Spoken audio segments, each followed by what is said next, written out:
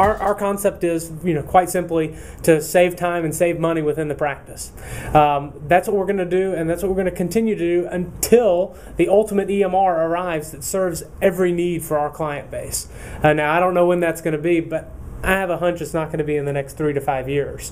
You know, it's a, it's a strange thing. What we do is this we look at the practices in America and we say, in this day and age, it's absolutely crazy from a business perspective for practices to still be using the same techniques and the same technology to, char- to uh, capture their charges as they were over a quarter of a century ago. Yet most of the statistics suggest that probably upwards of 75% of the practices in America today are doing exactly what they did in the 1970s and 80s. And that just doesn't make make sense at all. So in this interim period, while everybody's trying to figure out a very complex thing, and that's automating the clinical encounter in a practice in a way that makes sense to them, we fill in this gap that says, why don't you do something that, why don't you uh, automate a process that is time consuming, repetitive, complex, uh, and costly and manual, and uh, automate that in a fashion with minimal change of physician. And while you're doing that, you know, maybe you want to put the money in a savings account for your EMR uh, expenditure in the future. But you know what's really interesting is the majority of our clients already have EMR installed.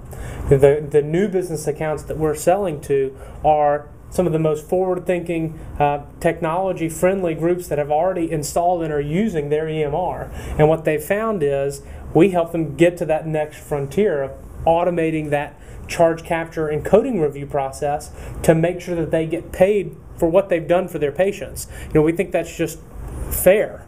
It's what they they've already done the clinical work. They should be reimbursed for that, and we help level the playing field between the practice and the insurance company that makes that more of a fair fight. If you if you look the you know Blue Cross and Aetna and CMS and United, they have a tremendous amount of money they have a tremendous amount of, uh, of, of, human resources. Look at the parking lots outside their offices. They're full, and they're not full of you know Chevys and Fords. They're full of you know Lexuses and nice SUVs. They are making money, and they have lots of people, and they have lots of technology. And when they deny a claim or even slow pay a claim, it is taking that money out of the doctor's pockets and putting it into their pockets. And we don't think that's fair.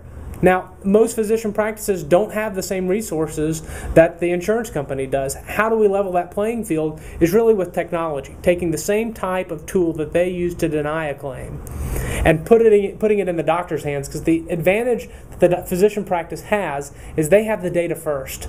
If you can learn and beat them at their own game, you can speed up your cash flow, reduce your denials, automate a manual process, and make sure that you're getting paid for the work that you're already doing.